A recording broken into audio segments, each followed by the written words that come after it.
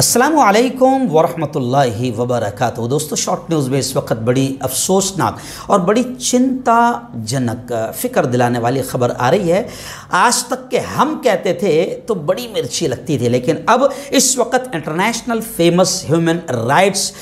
genocide watch के doctor Gregory ने साफ़ तौर से भारत पर यह इल्ज़ाम लगाया है कि भारत में मुसलमानों के कत्ल आम की तैयारी हो चुकी है।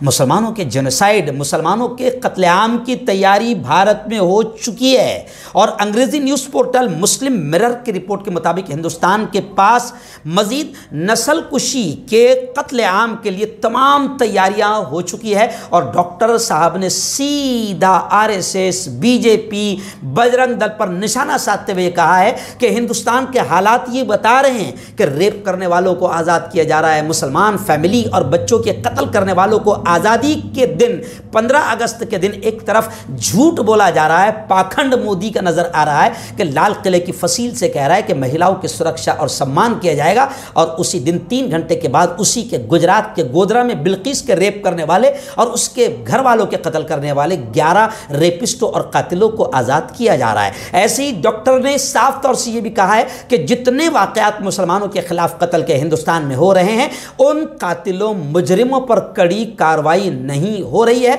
ये हालात बताते हैं कि हिंदुस्तान में कुछ अच्छा नहीं चल रहा है और इस वक्त मुसलमानों के कत्लेआम की तैयारी शुरू है। और ये मैं नहीं कह रहा हूँ, मैं कहता हूँ तो बड़ा बुरा लगता है, बड़ी मिर्ची लगती है, लेकिन दुनिया भी अब तुम पर थूक रही है।